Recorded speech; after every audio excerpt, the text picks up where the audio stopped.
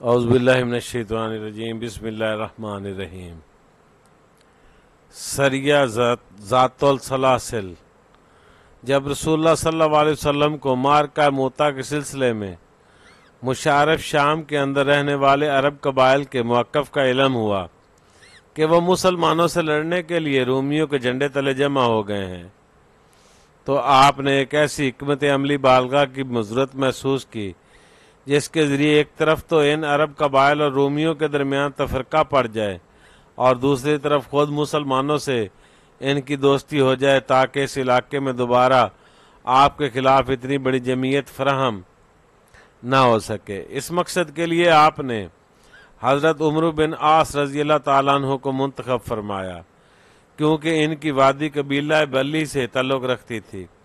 चुनाचे आप सल्लल्लाहु वसल्लम ने जंग मुताही के बाद यानी जमाती आखिर आठ हिजरी में इनकी तालीफ कलब के लिए हज़रत उमर बिन आस रज़ी तु को इनकी जानब रवाना फरमाया और कहा जाता है कि जसूसों ने यह भी इतला दी थी कि बनु कज़ा ने अतराफ़ मदीना पर हमला बो, बोलने के इरादे से एक नफरी फराम कर रखी है।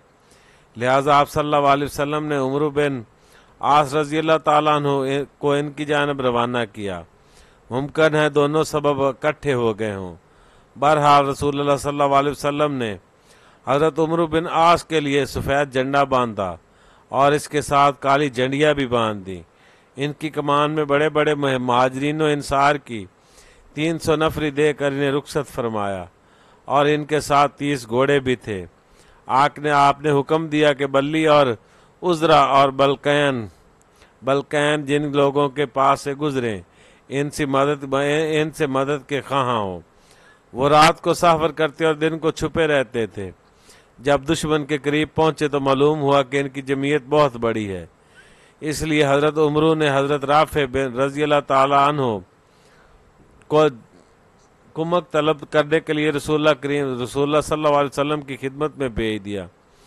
रसूल सल्लल्लाहु अलैहि वसल्लम ने हज़रत अबू बैदा बिन जराह को अलम देकर इनकी सरकर्दगी में 200 फौजियों की कुमक रवाना फरमाई, जिसमें रोसवा महाजरीन, मसलन अबू बकर, उमर और सरद सरद सरदराने, सरदाराने सारी भी थे। हज़रत अबू बैदर रज़ी उनको हुक्म दिया गया कि उमर बिन उमर बिन आज से जा मिलें और दोनों मिलकर काम करें।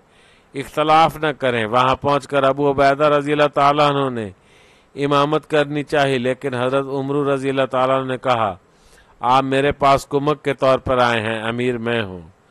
अबू बैदर रज़ी तु ने इनकी बात मान ली और नमाज़ हज़रत उमर ही पढ़ाते रहे। कुमक के आ जाने के बाद ये फौज मजीद आगे बढ़कर कज़ाए के इलाके में दाखिल हुई और इस इलाके को रौनती हुई, इसके दूर दराज हदूद तक जहाँ पहुँची। आखिर में एक लश्कर से मुठभीड़ हुई। लेकिन जब मुसलमानों ने इस पर हमला किया तो वो इधर उधर भाग कर बिखर गए। इसके बाद औफ बिन मालक जी रज़ी अल्लाह तु को एलची बनाकर रसूल सल्लल्लाहु अलैहि वसल्लम की खिदमत में भेजा गया। उन्होंने मुसलमानों की बेबा सलामती वापस की इतला दी और गज गजबे की तफसील सुनाई।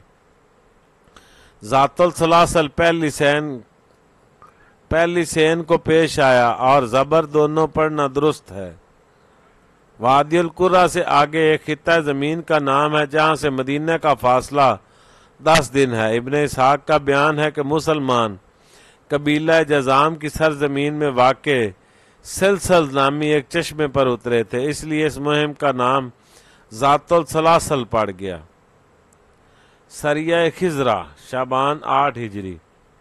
इस सरिया का सबब यह था कि नजद के अंदर कबीला मुहारब के इलाके में खिजरा नामी एक मुकाम पर बनु गतफान लश्कर जमा कर रहे थे। लिहाजा इनकी सरकोबी के लिए रसूल सल्लल्लाहु अलैहि वसल्लम ने हज़रत अबू कतादा को पंद्रह आदमियों की जमीयत देकर रवाना किया और उन्होंने दुश्मन के मुतद आदमियों को कत्ल और कैद किया और माल गनीमत भी हासिल किया।